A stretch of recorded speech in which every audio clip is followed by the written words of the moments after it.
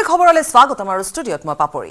মেঘালয়ত জীৱন্তে জ্বলাই হত্যা কৰা হ'ল গোৱালপাৰাৰ তিনিগৰাকীকৈ যুৱকক। জ্বলি ছাই হোৱা বাহনসহ উদ্ধাৰ হৈছে যুৱক তিনিজনৰ মৃতদেহ। বাগাচীৰ বনাঞ্চলত উদ্ধাৰ হৈছে তিনি যুৱকৰ মৃতদেহ। মেঘালয়ৰ পূব গাৰো পাহাৰৰ বাগাচীত সংঘটিত হৈছে এই ঘটনাটো।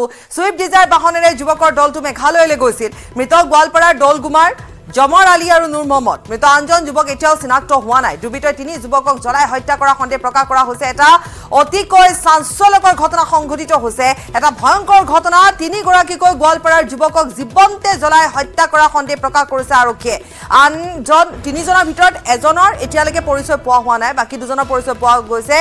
পূব গাৰো পাহাৰৰ বাগাচীত এই ঘটনা সংঘটিত হৈছে। বাগাচীৰ বনাঞ্চলত তেওঁলোকে ছুইফ্ট ডিজায়াৰলৈ গৈছিল। তাত ঘটনা কি ঘটিছিল সেয়া এতিয়ালৈকে জানিব পৰা হোৱা নাই বা হয়তো জানিব পৰা এই জংঘলৰ মাজত জনাৰ কোনো ধৰণৰ উপায়ো নাথাকিব পাৰে। কিন্তু তেওঁলোক গৈছিল ছুইফ্ট ডিজায়াৰ বাহন লৈ গৈছিল। তাৰ পিছতে কোনো দুৰ্বৃত্তই তেওঁলোকক জ্বলাই দিলে। জ্বলাই হত্যা কৰা হ'ল অসমৰ তিনিগৰাকীকৈ যুৱকক। যুৱকৰ দলটো মেঘালয়লৈ গৈছিল গাৰো পাহাৰলৈ গৈছিল বাগাচী নামৰ এই ঠাইলৈ গৈছিল তেওঁলোক। পাহাৰৰ বাগাচীত তেওঁলোক গৈছিল এইখন বাহন যিখন বাহন আমি আপোনালোকক দেখুৱাইছো বাহনখন সম্পূৰ্ণৰূপে জ্বলি ভস্মীভূত হৈছে। সন্দেহ প্ৰকাশ কৰা হৈছে যে বাহনখন জ্বলাই দিয়া হৈছে আৰু জীৱন্তে জ্বলাই হত্যা কৰা হৈছে। আমি কৈছোৱে যে এই বাহনখনত তিনিগৰাকীকৈ যুৱক আছিল এগৰাকীৰ পৰিচয় এতিয়ালৈকে পোৱা হোৱা নাই। ঘটনাস্থলীত আৰক্ষী উপস্থিত হৈছে। ঘটনাস্থলীত আৰক্ষী উপস্থিত সমগ্ৰ ঘটনা বৰ্তমান পৰীক্ষা চলাই আছে তাৰ তদন্ত আৰম্ভ কৰিছে। কিন্তু ঘটনাটো কেনেকৈ সংঘটিত হ'ল বা এই দ্ৰুবিত কোন সেয়া এতিয়ালৈকে জনা হোৱা নাই। কিন্তু পূব গড় গাৰো পাহাৰত এই ঘটনা সংঘটিত হৈছে বাগাচীত এই ঘটনা সংঘটিত হৈছে। ৰিংকু দাস আমাৰ সৈতে সংযুক্ত হৈ আছে ফোন যোগে তেওঁৰ হাতত থাকিব অধিক তথ্য। ৰিংকু আপোনাৰ পৰা জানি। হয় বাপৰি ক'ব লাগিব এক ডাঙৰ ঘটনা বুলি ক'ব লাগিব। যোৱাকালি যোৱাকালিৰ ঘটনা যি মেঘালয়ত যি জীৱন্তে গোৱালপাৰাত তিনি যুৱকক ইতিমধ্যে যি এখন চুইফ্ট ডিজাৰৰ ভিতৰত জ্বলাই দিয়া হৈছে কিন্তু যি মেঘালয় পূব গাৰো জিলাৰ যি ৱাকাচিত সংঘটিত যে ঘটনাটো আৰু এই যুৱক তিনিজন প্ৰায় সোমবাৰৰ পৰা ইতিমধ্যে নিৰুদ্দেশ হৈ আছিল কিন্তু ঘৰৰ পৰিয়ালে ইতিমধ্যে যি দলগুমা থানাত ইতিমধ্যে যি এজাহাৰ দাখিল কৰিছিল কিন্তু এজাহাৰ দাখিল কৰাৰ পাছত এই ল'ৰা ল'ৰা তিনিজনক কোনো সংসূত্ৰ পোৱা নাই যদিও যোৱাকালি নিশাৰ ভাগত দেখা গৈছে পুৱাৰ ভাগত পুৱাৰ ভাগত দেখিবলৈ পোৱা গৈছে যে মেঘালয়ৰ যি পূব গাৰো পাহাৰ জিলাৰ যি ৱাকাচি নামৰ যি বনাঞ্চল আছে এই বনাঞ্চলত ছুইফ্ট ডিজাৰখন ইতিমধ্যে ভস্মীভূত হোৱাৰ লগতে ছুইফ্ট ডিজায়াৰ তাত উদ্ধাৰ হৈছে। ঘটনাস্থলীত আৰক্ষী দল উপস্থিত হৈছে। তিনিগৰাকী যুৱক নিৰুদ্দেশ হৈ আছিলে। এতিয়া বৰ্তমান তেওঁলোকৰ মৃতদেহ পোৱা গৈছে। দুজনৰ পৰিচয় পোৱা গৈছে এজনৰ পোৱা হোৱা নাই।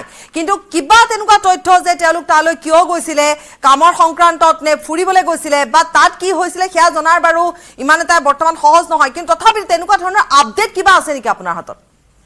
হয় বাপৰি ক'ব লাগিব আৰক্ষীৰ লগত মেঘালয় আৰক্ষী বা গোৱালপাৰা আৰক্ষীৰ লগত আমি যোগাযোগ কৰিছিলো যদিও আৰক্ষীয়ে কিন্তু এতিয়ালৈকে সংবাদ মাধ্যমৰ আগত একো মুখ খোলা নাই যদিও কিছু তথ্য আমি ইতিমধ্যে লাভ লাভ লাভ কৰিবলৈ সক্ষম হৈছো। বাপৰিকে সেই যুৱক তিনিজনে কিবা ব্যৱসায় সংক্ৰান্তত মেঘালয়লৈ যোৱা বুলি ইতিমধ্যে সন্দেহ কৰা হৈছে যদিও এতিয়ালৈকে সঠিকভাৱে ক'ব পৰা হোৱা নাই যদিও আমি কিছু তথ্য পোৱা মতে বে- বে- ব্যৱসায়ৰ সংক্ৰান্তত তেওঁলোকে এই মেঘালয়লৈ গৈছিল আৰু মেঘালয়ত যোৱাৰ পাছত তেওঁলোকে সোমবাৰৰ পৰা ইতিমধ্যে নিৰুদ্দেশ হৈ আছিল। আৰু যোৱাকালি ইতিমধ্যে তেখেতক পুৱাৰ ভাগত যি পূব গাৰো পাহাৰ জিলাৰ যি ৱাগাচি যি বনাঞ্চল আছে সেই বনাঞ্চলত ইতিমধ্যে খুব সহ তেওঁলোকক যি জ্বলন্ত অৱস্থাত ইতিমধ্যে উদ্ধাৰ কৰিছে মেঘালয় আৰক্ষী তাৰ পাছত দেখা গৈছে ইতিমধ্যে গোৱালপাৰা জিলাৰ যি দলগুমা অঞ্চলত এক চাঞ্চল্য বিৰাট বুজি পালো। অৰ্থাৎ এতিয়া গ- আৰক্ষীৰ হাততে গোটেইখিনি যে কেনেকৈ ঘটনাটো কেতিয়া ঘটিলে গোটেইখিনি তদন্তৰ আওতাত আহিব। ধন্যবাদ জনাইছো ৰিংকু দাস। পুনৰ কৈছো এক চাঞ্চল্যকৰ ঘটনা তিনিগৰাকী যুৱক হয়তো তেওঁলোক ব্যৱসায়িক সূত্ৰে তালৈ গৈছিলে কিন্তু যিহেতু এটা হাবিময় অঞ্চল এটা জংঘল অঞ্চল আমি দেখুৱাইছো গতিকে ইয়াত এই যিটো পাহাৰীয়া অঞ্চল বাগাচী বুলি কোৱা হয় পূব গাৰো পাহাৰৰ এই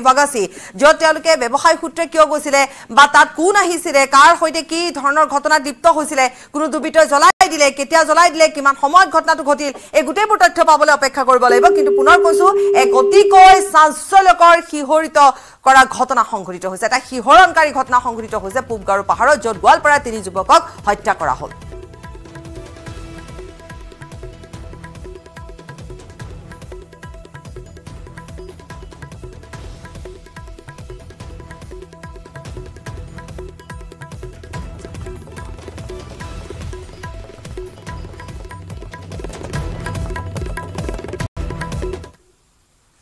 নলবাৰীৰ জনসভাত প্ৰধানমন্ত্ৰী নৰেন্দ্ৰ মোদীয়ে নিজকে অসমীয়াৰ গামোচাৰ ব্ৰেণ্ড এম্বেচাডৰ বুলি কোৱাৰ বিপৰীতে অসমীয়া গামোচাক অপমান কৰিলে পশ্চিমবংগৰ মুখ্যমন্ত্ৰী মমতা বেনাৰ্জীয়ে।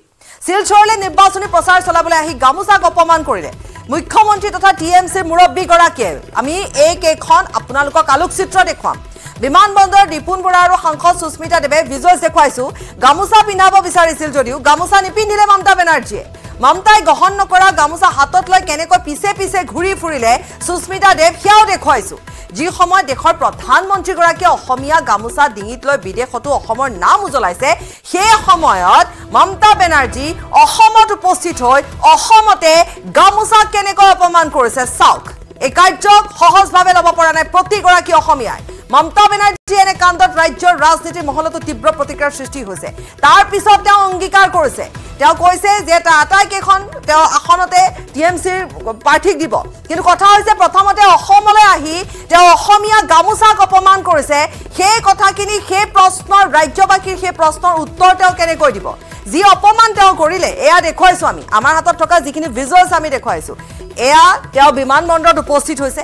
প্ৰত্যেকগৰাকী অসমীয়াই যেতিয়া অতিথি আহে তেতিয়া এখন গামোচা পিন্ধোৱা আমাৰ এটা নিয়ম এটা পৰম্পৰা। তেওঁকো কৰা হৈছিলে সেই সন্মান।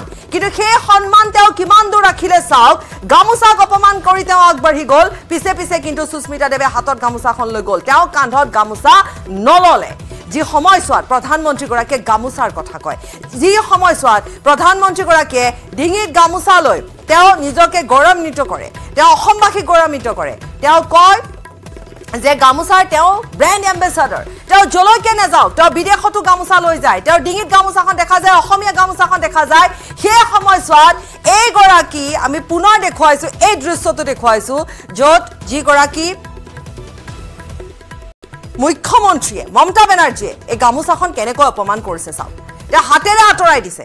অসমীয়া গামোচাৰ এম্বেচাডৰ বুলি প্ৰধানমন্ত্ৰীগৰাকীয়ে আজি নলবাৰীত তেওঁ ভাষণ প্ৰসংগত কয় কিমান সুন্দৰকৈ গৌৰৱেৰে সেই কথা তেওঁ কৈছিলে আৰু তাৰ সমানে তাৰ বিপৰীতে দৃশ্য আজিৰে যে বিমানবন্দৰত এখন গামোচা তেওঁ হাতেৰে আঁতৰাই দিছে।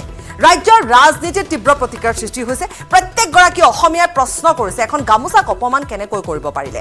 তেওঁ সন্মান জনাবলৈ তেওঁ যে অসমলৈ আহিছে তেওঁক আদৰিবলৈ এনেধৰণে গামোচা হাতত লৈ যোৱা হৈছিলে যিটো আমাৰ পৰম্পৰা। কিন্তু দেখিবলৈ পোৱা গ'ল তেওঁ সেয়া কোনো গুৰুত্বই প্ৰদান নকৰিলে। এখন হাতেৰে তেওঁ গামোচাখন আঁতৰাই দিলে এয়া দেখুৱাইছোঁ আমি। এখন আলোকচিত্ৰ চাওক। তেওঁ গামোচাখন আঁতৰাই দিছে। তেওঁ ডিঙিত গামোচাখন পিন্ধিবলৈ তেওঁ মান্তি নহ'ল। তেওঁ গামোচাখন নল'লেও নুচুলেও। আৰু তেনেধৰণে তেওঁ আগবাঢ়ি আহিল। হাতযোৰ কৰি ৰিপুণ বৰাক তেওঁ সম্ভাষণ জনালে কিন্তু গামোচাখন হ'লে নল'লে। কিয় নল'লে তেওঁ গামোচাখন? কিহৰ বাবে তেওঁ গামোচাখন নল'লে কিয় তেওঁ গামোচাক অপমান কৰিলে তেওঁ গামোচাৰ মূল্য বুজি পায় নে নাপায় তেওঁক বুজোৱা হোৱা নাই নেকি তেওঁ গামোচা চিনি নাপায় নেকি? বিমানবন্দৰৰ পৰা গামোচা নিপিন্ধি ওলাই আহিল এয়া দেখুৱাইছোঁ আমি মমতা বেনাৰ্জী মমতা বেনাৰ্জী। মমতা বেনাৰ্জী এই কাণ্ডত এতিয়া তীব্ৰ প্ৰতিক্ৰিয়াৰ সৃষ্টি হৈছে য'ত য'ত অসমৰ গামোচাখনক দেশে বিদেশে পৰিচয় কৰাই দিছে প্ৰধানমন্ত্ৰীগৰাকীয়ে। প্ৰত্যেকটো মুহূৰ্তত তেওঁৰ ডিঙিত গামোচা দেখিবলৈ পোৱা যায় প্ৰত্যেকটো মুহূৰ্তত। তাৰ বিপৰীত দৃশ্য এয়া হৈছে। নিজকে অসমীয়াৰ গামোচা ব্ৰেণ্ড এম্বেচাডৰ বুলি উল্লেখ কৰি অসমীয়া গামোচা প্ৰশংসা কৰিছিল আজি প্ৰধানমন্ত্ৰীগৰাকীয়ে কিন্তু গামোচা পিন্ধিলেও সমালোচনা কৰে বুলিও তেওঁ কংগ্ৰেছকো কটাক্ষ কৰিছিল তেওঁ আজি কি কৈছিলে সেয়া এবাৰ দেখুৱাই লওক असम के गमोसा का ब्रांड एम्बेसडर तो खुद आपका मोदी है लेकिन भाइयों बहनों कांग्रेस को देश की विरासत इससे भी दिक्कत है मैं असम के स्थानीय परंपराओं के कपड़े पहन लेता हूं तो कांग्रेस वाले मजाक उड़ाते हैं कांग्रेस को असम के लोगों की भावनाओं की कोई परवाह नहीं है साथियों हमारे मुख्यमंत्री हेमंत बिश्व शर्मा जी असम के विकास के लिए इतनी मेहनत करते हैं कि यहां कांग्रेस का स्कोप ही खत्म हो गया है গামোচাৰ ব্ৰেণ্ড এম্বেচাডৰ আপোনালোকৰ মোদী এয়া আছিল আজি প্ৰধানমন্ত্ৰীগৰাকীৰ গামোচাক লৈ কৰা ভাষ্য যি ভাষ্য সঁচাকৈ সকলোকে সকলোকে মন্ত্ৰমুগ্ধ কৰিলে। কিন্তু তাৰ সমানে বিপৰীত দৃশ্য এইটো আমি দেখুৱাইছোঁ বিমানবন্দৰত এয়া এয়া দেখিবলৈ পোৱা গৈছে হাতত গামোচা লৈ ৰিপুণ বৰা আৰু সুস্মিতা দেৱে তেওঁৰ পিছে পিছে গৈছে গামোচাখন লৈ। কিন্তু সেই গামোচা তেওঁ চুয়ো নাচালে। তেওঁ চুয়ো নাচালে সেইখন গামোচা। অসমীয়া গামোচাক তেওঁ কেনেকৈ অপমান কৰিছে আমি দেখুৱাইছোঁ। টি এম চিৰ নেতৃত্ব তাত আছে। তাত এয়া পশ্চিমবংগৰ মুখ্যমন্ত্ৰীগৰাকী যি হাতেৰে গামোচাখন আঁতৰাই দিছে কিন্তু কিহৰ বাবে আঁতৰাই দিছে? তেওঁ গামোচা পিন্ধিবলৈ বা গামোচাখন ডিঙিত ল'বলৈ তেওঁ কিহৰ বাবে ইমান তেওঁ কি কাৰণত তেওঁ ইমান কেনেকুৱা ধৰণৰ বোধ কৰিলে বা তেওঁ কি ভাবিলে যে গামোচাখন তেওঁ নুচুবই যেন তেওঁ নুচুবই যেন তেনেধৰণে তেওঁ কেনে এনেকুৱা ধৰণৰ এটা তেওঁ তাত অভিব্যক্তি তেওঁ দেখুৱালে। তেওঁ কোনো প্ৰকাৰে যেন গামোচাখন চুব বিচৰা নাই। গামোচাখন আগবঢ়াই দিওঁতে তেওঁ হাতখন দি দিছে। অৰ্থাৎ গামোচাখন তেওঁ ডিঙিত ল'ব বিচৰা নাই। এটা বিপৰীত দৃশ্য। আৰু এই দৃশ্য এই কাৰ্যক সহজভাৱে এগৰ কোনো এগৰাকী অসমীয়াই নলয়। ৰাজ্যৰ ৰাজনীতিটো প্ৰতিক্ৰিয়াৰ সৃষ্টি হৈছে। পুনৰ আমি কৈছোঁ আজিৰ দিনটোৰ দুটা দৃশ্য আজিৰ দিনটোৰ দুটা দৃশ্য এটা আমি শুনোৱালো আপোনালোকক যে আজি প্ৰধানমন্ত্ৰীগৰাকীয়ে কেনেকৈ নিজকে গামোচা ব্ৰেণ্ড এম্বেচাডৰ বুলি কৈছে। আপকা মোদী হে গামোচা কা ব্ৰেণ্ড এম্বেচাডৰ আৰু তাৰ বিপৰীত দৃশ্য এয়া হাতযোৰ ঠিকেই কৰিলে কিন্তু গামোচাখন গ্ৰহণ নকৰিলে। কিন্তু গামোচা দিয়াটো আমাৰ এটা পৰম্পৰা। প্ৰত্যেকগৰাকী অতিথিক আমি দিওঁ আৰু প্ৰত্যেকগৰাকী অতিথিয়ে এনেধৰণে গামোচাখন গ্ৰহণ কৰে। কিন্তু মমতা বেনাৰ্জীয়ে নকৰিলে। আমি পুনৰ এবাৰ কৈছোঁ যে ইয়াৰ পিছতে প্ৰতিক্ৰিয়াৰ সৃষ্টি হৈছে গামোচাক অপমান কৰা সহ্য কৰা নহ'ব। মমতা বেনাৰ্জীয়ে অসমীয়া গামোচাক অপমান কৰা কাৰ্যত প্ৰতিক্ৰিয়াৰ সৃষ্টি হৈছে। এই কাৰ্য গৰিহণা দি মমতা বেনাৰ্জীক ক্ষমা খোজাৰ দাবী জনাইছে বিহু কৃষ্টি পৰিষদ অসমে। গামোচা আমাৰ স্বাভিমানৰ প্ৰতীক আমি ইয়াৰ গামোচাৰ লগত আৱেগ জড়িত আছে। আৰু গামোচাক যদি কোনোবাই যে অৱহেলা কৰে অপমান কৰে যে আমি সহ্য কৰিব নোৱাৰোঁ। আমি ভাবোঁ যে গামোচাক সকলোৱে সন্মান কৰিব লাগে আমি গামোচাখনৰ লৈ আমি আমাৰ সাংস্কৃতিক দেশত আমি আগবাঢ়ি গৈছোঁ। গতিকে গামোচাখনক যদি কোনোবাই অপমান কৰে আমি তাক আমি সহ্য কেতিয়াও কৰিব নোৱাৰোঁ। মমতা বেনাৰ্জীক আমি এই অনুৰোধ অনুৰোধ জনাইছোঁ যে ভৱিষ্যতে যাতে আমাৰ গামোচাক অপমান নকৰে গামোচাৰ প্ৰতি যদি সন্মান জনায় গামোচাক এনেধৰণে অপমান কৰিলে অকল আমিয়ে নহয় গোটেই অসমে ইয়াৰ প্ৰতিক্ৰিয়াৰ সৃষ্টি কৰিব। আৰু তেখেতে এই ক্ষেত্ৰত আমাৰ ওচৰত ক্ষমা খোজা- খোজাটো উচিত। ক্ষমা খোজা উচিত। সেই কথা উল্লেখ কৰিছে। আমি কৈছোৱে যে এতিয়া প্ৰতিক্ৰিয়াৰ সৃষ্টি হৈছে। আৰু প্ৰতিক্ৰিয়াৰ সৃষ্টি হ'বই। নোহোৱাটো কোনো কথাই নহয়। প্ৰতিক্ৰিয়াৰ সৃষ্টি হ'বই। স্বাভাৱিক কথা এয়া। কাৰণ যেতিয়া এই ভিজুৱেলছ বা যেতিয়া এই আলোকচিত্ৰ দেখিছে বা আমি এয়া আমি আপোনালোকক দেখুৱাইছোঁ। গতিকে এয়া কেমেৰাত আবদ্ধ দৃশ্য। গতিকে সেই মুহূৰ্তত ইয়াৰ পিছত হয়তো তেওঁলোকে ক'ব পাৰে যে সংবাদ মাধ্যমে এডিট কৰিছে বা সংবাদ মাধ্যমে এনেধৰণে দেখুৱাইছে তেনেকুৱা কোনো কথা নাছিল। কিন্তু আমি পুনৰ এবাৰ কৈছোঁ যে এখন গামোচালৈ এনেকৈ সুস্মিতা দেৱে পিছে পিছে গৈ আছে মমতা বেনাৰ্জীৰ আৰম্ভণিতে তেওঁ কিন্তু ডিঙিতে পিন্ধাব বিচাৰিছিলে কিন্তু হাতখন দি আঁতৰাই দিলে মমতা বেনাৰ্জীয়ে। মমতা বেনাৰ্জীয়ে এই কাৰ্য কিয় কৰিলে? এখন গামোচাক তেওঁ অপমান কিয় কৰিলে? তাকো এই গামোচাখনক অপমান কৰিছে তেওঁ অসমৰ ভূমিতে। অসমলৈ আহি অসমতে তেওঁ গামোচাক অপমান কৰিছে। গতিকে সহজভাৱে নিশ্চিতভাৱে স্বাভাৱিক কথা যে কোনেও সহজভাৱে নলয়। গামোচা নিপিন্ধি তেওঁ বিমানবন্দৰৰ পৰা ওলাই আহিল। পিন্ধাবলৈ নিয়া গামোচা হাততে থাকিল সুস্মিতা দেৱৰ। পিছে পিছে তেওঁ লৈ ঘূৰি ফুৰিল আৰু ইয়াৰ পিছত প্ৰতিক্ৰিয়াৰ সৃষ্টি হ'বই। দুটা কথা আজি গামোচাক লৈ আমি দুটা দৃশ্য দেখুৱালোঁ এটা ভাষ্য শুনোৱালোঁ য'ত প্ৰধানমন্ত্ৰীগৰাকীয়ে গামোচাক ইমান সন্মান দিছে। তেওঁ কৈছে যে তেওঁ নিজে ব্ৰেণ্ড এম্বেচাডৰ সেই গামোচাৰ কথা তেওঁ কৈছে। আৰু হয়ো প্ৰত্যেকবাৰ দেখিবলৈ পোৱা যায় যে প্ৰধানমন্ত্ৰীগৰাকীয়ে যেতিয়া তেওঁ যোগ কৰে যোগা য়োগা কৰে। সেই সময়ছোৱাতো তেওঁৰ ডিঙিত গামোচাখন থাকে। তেওঁক যেতিয়াই তেওঁৰ যদি সাক্ষাৎকাৰ থাকে তেতিয়াও তেওঁৰ ডিঙিত গামোচাখন থাকে। তেওঁ বিদেশলৈ যায় তেতিয়াও তেওঁৰ ডিঙিত গামোচাখন থাকে। গতিকে তেনে ক্ষেত্ৰত এইফালে আমি এটা দৃশ্য দেখুৱাইছোঁ য'ত অসমৰ ভূমিতে অসমলৈ আহিছে তেওঁ। তেওঁ প্ৰচাৰ চলাবলৈ আহিছে কিন্তু মন কৰিব। গতিকে তেনে ক্ষেত্ৰত তেওঁ আহি কি কৰিলে? তেওঁ অসমীয়াৰ বাপতি শাহুনকে তেওঁ অপমান কৰিলে। বিহুৰ বতৰতে তাতো বিহুৰ বতৰতে যে তেওঁ অসমীয়াৰ গামোচাখনকে অপমান কৰিলে গামোচাখন নুচুলে তেওঁ হাতেৰেই নুচুলে। দেশে বিদেশে গামোচা সমাদৰ মোদীয়ে আজি এই কথা কৈছে। কৈছে যে কেনেকৈ তেওঁ দেশ বিদেশলৈ যাওঁতে তেওঁ গামোচাখন লৈ যায়। আৰু বাৰম্বাৰ আচলতে মুখ্যমন্ত্ৰীগৰাকীয়েও নিৰ্বাচনী প্ৰচাৰ সভাত এইটো কথা উল্লেখ কৰে যে প্ৰধানমন্ত্ৰীগৰাকীয়ে গামোচাখনক ইমান পৰিচয় কৰাই দিছে দেশে বিদেশে তেওঁ গামোচাখন লৈ যায় তেওঁৰ ডিঙিত গামোচাখন থাকে তেওঁৰ হাতত গামোচাখন থাকে গামোচা কেনেকৈ সন্মান জনাব লাগে সেয়া প্ৰধানমন্ত্ৰীগৰাকীয়ে সদায় দেখুৱাই আহিছে। এটা উদাহৰণ আৰু তাৰ সম্পূৰ্ণ বিপৰীত দৃশ্য এয়া দেখুৱাইছোঁ আমি পশ্চিমবংগৰ মুখ্যমন্ত্ৰীগৰাকীক বিমানবন্দৰত উপস্থিত হোৱাৰ লগে লগে যি আমাৰ পৰম্পৰা যে আমি যিকোনো যেনেকুৱা ধৰণে নহওক কিয় যেতিয়াই অতিথি আহে গামোচা দি প্ৰথমতে এনেকৈ সম্ভাষণ জনোৱা হয় তেওঁক আদৰা হয় কিন্তু সেইখন গামোচাক তেওঁ হাতেৰে আঁতৰাই পঠিয়ালে। আৰু সেই গামোচাখনকে লৈ সুস্মিতা দেৱ তেওঁ পিছে পিছে আঁতৰি গ'ল অৰ্থাৎ বিমানবন্দৰৰ পৰা ওলাই গ'ল। কিন্তু গামোচাখন তেওঁ নিপিন্ধিলে। গামোচাখন পিন্ধা হ'লে তেওঁৰ কি ক্ষতি হ'লহেঁতেন? মাথো তেওঁ গামোচাখন ডিঙিত ল'ব লাগিছিলে। তাৰপিছত হয়তো তেওঁ হাতত লৈ সুন্দৰকৈ তেওঁ যাবগৈ পাৰিলেহেঁতেন। তেওঁ গাড়ীত গামোচাখন থাকিলেহেঁতেন। কোনো কথাই নাছিলে। এনেকুৱা কি কাৰণ হ'ল যাৰ কাৰণে তেওঁ গামোচাখনক অপমান কৰিলে তেওঁ গামোচাখনৰ মূল্য নুবুজিলে নে গামোচাখন চিনি নাপালে নে গামোচাখনে অসমীয়াৰ পৰম্পৰা কেনেকৈ ধৰি ৰাখিছে সেয়া তেওঁ নাজানিলে। তেতিয়াহ'লে তেওঁ অসমৰ ভূমিত কি কৰিবলৈ আহিছে? প্ৰথম কথাই হৈছে সেইটো তেওঁ অসমৰ ভূমিত কি কৰিবলৈ আহিছে য'ত তেওঁ গামোচাকে সন্মান কৰিবলৈ নাজানিলে।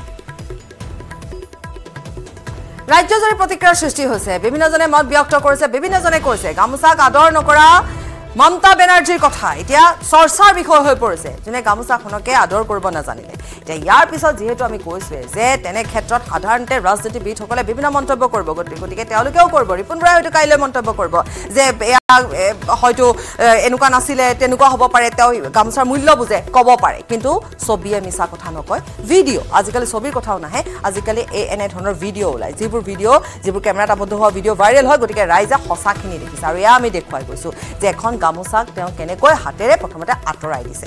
সুস্মিতা দেৱে তেওঁ সুন্দৰকৈ গামোচাখন পিন্ধাবলৈ আহিছিলে। প্ৰথম কথা হৈছে যে গামোচা আমি পিন্ধাওৱেই। দ্বিতীয় কথা হৈছে বিহুৰ বতৰ। গতিকে যোনজনে নাহক কিয় অসমলৈ আহিছে আহ, অতিথি আমাৰ। গতিকে তেওঁ গামোচা পিন্ধাইছে আৰু সেয়া এটা নিয়ম সেয়া এটা পৰম্পৰা গামোচাখন আঁতৰাই পঠিয়াইছে। কিয়? গামোচাখন আঁতৰাই পঠিয়াব লগা কি কাৰণ হ'ল? যে গামোচা এখন গামোচা তেওঁ ডিঙিত কিয় আঁৰি ল'ব নোৱাৰিলে? তাৰপিছত তেওঁ হাতত ল'লেহেঁতেন তেওঁ কিয় কৰিব নোৱাৰিলে তেনেকুৱা এটা কাম? গতিকে ইয়াকে লৈ প্ৰশ্ন উঠাটো এটা স্বাভাৱিক কথা। পুনৰ সেই ভিজুৱেলছ আমি দেখুৱাইছোঁ। এতিয়া প্ৰতিক্ৰিয়াৰ সৃষ্টি হৈছে। প্ৰত্যেকগৰাকী অসমীয়াৰ প্ৰশ্ন। এই মুহূৰ্তত আমি কৈছোৱে যে প্ৰতিক্ৰিয়াৰ সৃষ্টি হৈছে। আমাৰ সৈতে সংযুক্ত হৈ আছে শংকৰজ্যোতি বৰুৱা। ডাঙৰীয়া স্বাগতম। ভিজুৱেলছ আপোনালোকে দেখিছে যি সময়ছোৱাত প্ৰধানমন্ত্ৰীগৰাকীয়ে গামোচাৰ কথা কৈছে যি তেওঁৰ ভাষ্যবাতিৰ যিটো ভাষণ আছিলে সেয়াই সকলোকে সকলোকে ভাল লগাই দিছিলে মন্ত্ৰমুগ্ধ কৰি পেলাইছিলে। একেদিনাখনে আন এটা দৃশ্য আপুনি টিভি স্ক্ৰীণত দেখিছে নিশ্চয় গামোচাখন মমতা বেনাৰ্জীয়ে আঁতৰাই দিছে। প্ৰতিক্ৰিয়া জানি হয় নিশ্চিতভাৱে আপোনালোকৰ মাধ্যমৰ জৰিয়তে আমি দেখিবলৈ পাইছো যে আদৰণি জনাবলৈ যাওঁতে সুস্মিতা দেৱৰ হাতত এখন গামোচা আছিল পিন্ধিব বিচৰা নাই তেওঁ হাতেৰে আঁতৰাই দিয়া যেন এটা অনুভৱ হৈছে। আচলতে এইটো বিহুৰ বতৰত অসমীয়া মানুহক অসমবাসীক চূড়ান্ত অপমান কৰিছে গোটেই কথাটোৱে। আৰু মমতা বেনাৰ্জী প্ৰথমবাৰৰ কাৰণে অসমলৈ আহিছে অসমৰ কথা নাজানে তেনেকুৱা নহয় তেওঁ আগতেও আহিছে। আগতেও গামোচা পিন্ধা আমি দেখিছো। কিন্তু এইবাৰ আচলতে কিহৰ কাৰণে গামোচাখন আঁতৰাই দিবলগীয়া হ'ল আৰু বিশেষকৈ অসমৰ অসমৰ যিসকল আচলতে তেওঁলোকৰ দলৰ প্ৰতিনিধি আছে সেইসকলৰ কাৰণে গোটেই কথাটো চূড়ান্ত দুৰ্ভাগ্যজনক। এই বিষয়টোৰ কাৰণে এই বিহুৰ বতৰত অসমীয়া মানুহৰ স্বাভিমানত আঘাত অনা অসমীয়া মানুহৰ মন মগজুত আঘাত আনিব পৰা এই কাৰ্যটোৰ কাৰণে পশ্চিমবংগৰ মুখ্যমন্ত্ৰীগৰাকী আৰু লগতে অসমৰ তেওঁলোকৰ দলৰ যিসকল মানুহ আছে মূল মানুহ সেইসকলে অসমবাসীৰ ওচৰত কৰ জোৰেৰে সস্তাংগে ক্ষমা খোজা উচিত। অন্যথা কিন্তু অসমবাসী ৰাইজে এই বিষয়টো আচলতে কোনো কাৰণে মানি ল'ব পৰা নাই। নিশ্চয় ধন্যবাদ জনাইছোঁ আপোনাক। আপোনাৰ প্ৰতিক্ৰিয়া অসমবাসী ৰাইজে মানি ল'ব বিচৰা নাই কাৰণ আমি পুনৰ এবাৰ কৈছোঁ যে এই সময়ছোৱাত বিহুৰ সময়। আৰু এই সময়ছোৱাত বুলিয়ে নহয় আমি আকৌ এবাৰ কৈছোঁ যে প্ৰত্যেকগৰাকী অসমীয়াৰ আমি এয়া আমাৰ আচলতে এটা দায়িত্ববোধ যে অতিথি যেতিয়া আমাৰ ইয়ালৈ আহে আমি এখন গামোচা তেওঁলোকক দিওঁ। গামোচা আমাৰ কৃষ্টি সংস্কৃতি পৰম্পৰা বা আমাৰ আমাৰ যি গৌৰৱ গতিকে তেনে ক্ষেত্ৰত এখন গামোচাক অপমান কৰা হৈছে। ইয়াৰ পূৰ্বেও আমি গামোচাক অপমান কৰা দেখিছিলোঁ। কিন্তু আজিৰ দিনটোৰ কথাটো কৈছোঁ। আজিৰ দিনটোৰ কথাটো কৈছোঁ কাৰণ আজিৰ দিনটোত দুটা কথা হৈছিলে। এটা প্ৰধানমন্ত্ৰীগৰাকীৰ সেই ভাষণ যি সকলোকে মন্ত্ৰমুগ্ধ কৰি পেলাইছিলে শিহৰিত কৰি তুলিছিলে। আৰু তাৰ বিপৰীত এটা দৃশ্য এগৰাকী হৈছে পশ্চিমবংগৰ মুখ্যমন্ত্ৰী মমতা বেনাৰ্জী। তেওঁ আহিছে শিলচৰলৈ নিৰ্বাচনী প্ৰচাৰ চলাবলৈ। নিৰ্বাচনী প্ৰচাৰ চলাবলৈ অহা মুখ্যমন্ত্ৰীগৰাকীয়ে অসমৰ ভূমিত ভৰি থৈ তেওঁ প্ৰথমতে গামোচাক অপমান কৰিছে। গতিকে তেনে ক্ষেত্ৰে চাওক এই ফটোখন চাওক এই আলোকচিত্ৰ চাওক। সুস্মিতা দেৱে গামোচাখন লৈ গৈছে। ৰঙা ফুলৰ এখন সুন্দৰ ধুনীয়া গামোচা। গামোচাখন তেওঁক দিবলৈ ওলাওঁতে তেওঁ হাতখন দি আঁতৰাই দিছে। গতিকে তেওঁ তাৰ দ্বাৰা কি বুজাব বিচাৰিছে সেয়া তেওঁ উত্তৰ দিব নে নিদিয়ে সেয়া পাছৰ কথা কিন্তু তেওঁ বুজাব কি বিচাৰিলে? তেওঁ গামোচাখনক এনেকৈ অপমান কিয় কৰিলে? প্ৰত্যেকগৰাকী অসমীয়াৰ প্ৰশ্ন এয়া। গামোচা আমাৰ স্বাভিমান। গতিকে তেনে ক্ষেত্ৰত স্বাভিমানত আঘাত লাগিছে। অসমীয়াৰ স্বাভিমানত আঘাত লাগিছে। তেওঁ ইয়ালৈ আহিছে। অসমৰ ভূমিত ভৰি থৈছে। অসমীয়াৰ সৈতে তেওঁ কথা পাতিব। তেওঁ কি কথা পাতিব? যদি তেওঁ গামোচাখনকে তেওঁ এনেধৰণে গামোচাখনক অপমান কৰিলে গতিকে তেওঁ কি কথা পাতিব? তাৰপিছত তেওঁ আহিছে তেওঁ প্ৰচাৰ চলাবলৈ আহিছে। তেওঁ ৰাইজৰ মাজত উপস্থিত হৈছে। তেওঁ তাত কি কথা ক'ব য'ত তেওঁ এখন গামোচাকে তেওঁ সন্মান কৰিব নাজানিলে। টি এম চিৰ মুৰব্বীগৰাকীয়ে কেনেধৰণে আহি অসমলৈ আহি অসমৰ ভূমিত গামোচাক অপমান কৰিলে? সেই দৃশ্য কেমেৰাত বন্দী হৈছে। সেই দৃশ্য আমি দেখুৱাইছোঁ। আৰু তাৰ পাছৰ দৃশ্য চাওক। তেওঁৰ পিছে পিছে এনেধৰণে এয়া ৰিপুণ বৰা ডাঙৰীয়া আৰু লগতে সুস্মিতা দেৱ যি হাতত গামোচাখন তেনেকৈ লৈ তেওঁলোক পিছে পিছে ওলাই গৈছে। তেওঁৰ পাছে পাছে ওলাই গ'ল কিন্তু গামোচা পিন্ধাব তেওঁলোকে নোৱাৰিলে। গামোচাক সন্মান নাজাছিলে মমতা বেনাৰ্জীয়ে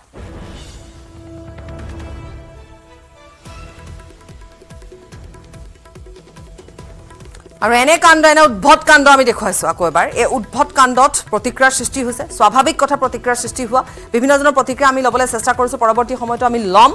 আৰু এই দৃশ্য যেতিয়া ছ'চিয়েল মিডিয়াত ভাইৰেল হ'ব তেতিয়াও হয়তো বিভিন্নজনে প্ৰশ্ন উত্থাপন কৰিব। কিন্তু সেই প্ৰশ্নৰ উত্তৰ কি দিব? মমতা বেনাৰ্জীয়ে প্ৰশ্ন উত্তৰ দিবনে নিদিয়ে সেয়া পাছৰ কথা। ৰিপুণ বৰাই সেই প্ৰশ্নৰ উত্তৰ কি দিব? কাৰণ সেই সময়ছোৱাত তেওঁৰো হয়তো স্বাভিমানত আঘাত লাগিব পাৰে। কাৰণ পুনৰ কৈছোঁ অসমীয়াৰ গামোচা। গামোচা হৈছে অসমীয়াৰ স্বাভিমান। আৰু যিখন গামোচাক লৈ আজি প্ৰধানমন্ত্ৰী খোদ প্ৰধানমন্ত্ৰীগৰাকীয়ে তেওঁ প্ৰচাৰ চলাবলৈ আহি সেই গামোচাক আদৰ সাদৰ কৰিলে। লগতে তেওঁ আনকি আমি কৈছিলোঁ দেখুৱাইছিলোঁ যে কুৰকুৰি নাগাৰাক তেওঁ সন্মান যাছিলে অসমীয়াৰ পৰম্পৰা কৃষ্টি সংস্কৃতি সকলোকে তেওঁ ইমান সন্মান যাছে গতিকে তেনে ক্ষেত্ৰত তাৰ বিপৰীত দৃশ্য আজি এইখন অসমতে দেখিবলৈ পোৱা গ'ল।